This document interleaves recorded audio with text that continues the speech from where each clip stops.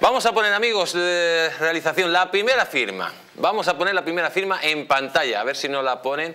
Ahí tenemos, yo no voy a decir qué político es, pero señor eh, José Luis Martínez, cuéntenos, cuéntenos qué carácter tiene este señor. Vamos allá.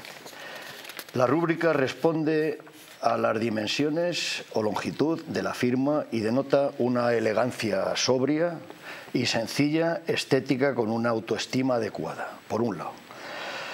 Eh, esa P que tenemos ahí, eh, sobrealzada, que se llama en grafología, denota cierto descontrol presuntuoso y prepotente con una puesta, eh, con, un, con una puesta de manifiesto del yo acusado, personal y social, que denota orgullo con exhibición de los méritos propios, vanidoso e insatisfecho personalmente.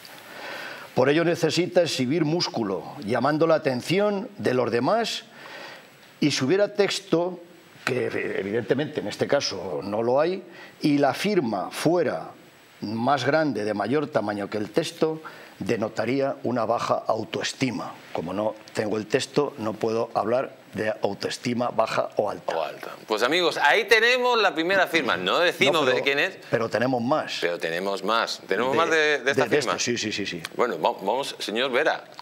¿Qué opina? Que decir. ¿Qué opina? dice que este, este señor tiene que sacar mucho músculo y tiene baja autoestima. Lo de la baja autoestima no sé, pero desde luego hacer un gran ejercicio porque parezca que no la tiene, ¿no? Vamos a continuar, señor eh, don José Luis. Ah, eh, seguimos hablando de Pablo Iglesias. no, pero no, me, no, diga usted el nombre. No, pero si es que, si es que se lee en la firma. En la firma se lee muy bien. no lo diga, no lo diga. en este caso se lee muy bien. No lo diga, pero bueno, venga, sigamos. No hay problema, porque es que se ve perfectamente el nombre.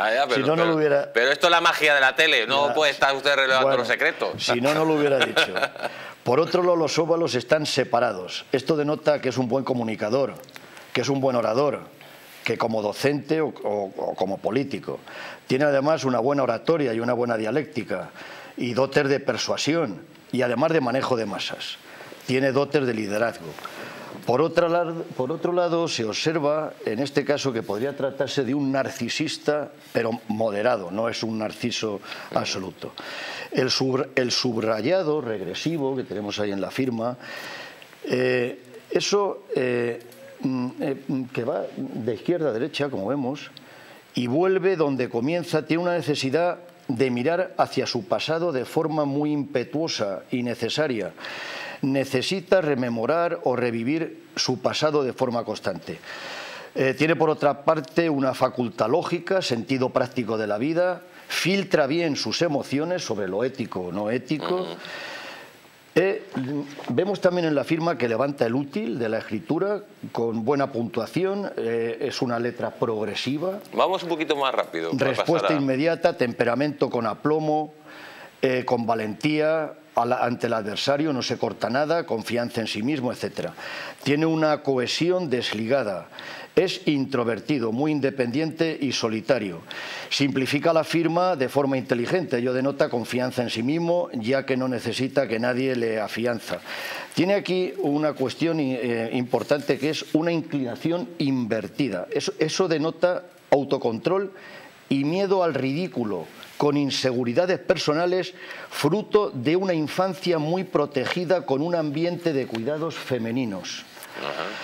Eh, eh, finalmente tiene buena inclinación de estrógira a la derecha, queremos decir, persona cordial y con buena sociabilidad, poco control en ocasiones, apasionamiento a veces desbocado, con poca cautela a veces, es bastante a veces imprudente. Bueno, yo creo que más o menos queda la personalidad. Vamos con, vamos con Finalmente, si me permites un momento, la firma es completamente legible, por eso eh, he cometido el del Pues no hay problema. Pero... Que era Pablo Iglesias, es una persona amable, eh, con, eh, franca y con un carácter que se mueve en la esfera pública de forma espontánea. Vale, vamos...